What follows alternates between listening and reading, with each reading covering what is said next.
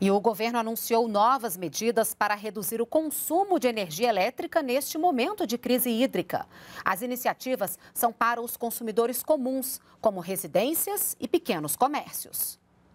A primeira medida apresentada pelo governo foi o Programa de Incentivo à Redução Voluntária do Consumo de Energia Elétrica, voltado para os chamados consumidores cativos, como residências e pequenos comércios. Será oferecido um bônus de 50 reais para cada 100 kWh economizado.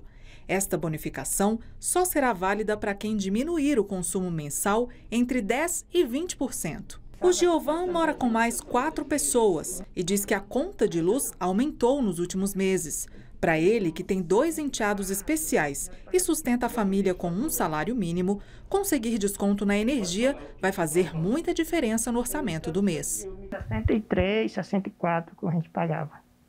Aí agora vem de 130, 140. Vou fazer o possível para a gente economizar aí. Outra medida apresentada pelo governo foi a instituição da bandeira tarifária escassez hídrica, no valor de R$ 14,20 por quilowatt-hora. Isso representa 6,78% de aumento na tarifa média dos consumidores, e a medida foi instituída para cobrir a alta dos custos da geração de energia com a utilização das termoelétricas.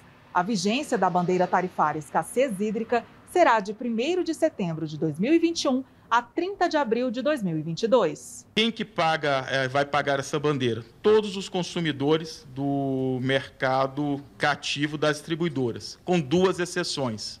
Os consumidores do estado de Roraima, que não pagam bandeira pelo fato do estado de Roraima ser isolado, e os consumidores inscritos os, é, que usufruem do programa da tarifa social. O que nós estamos buscando com esses programas Primeiro, com as bandeiras, é mostrar para o consumidor que a energia está mais cara efetivamente e também que, adotando o, o, a redução do consumo, essa energia poderá se tornar mais barata.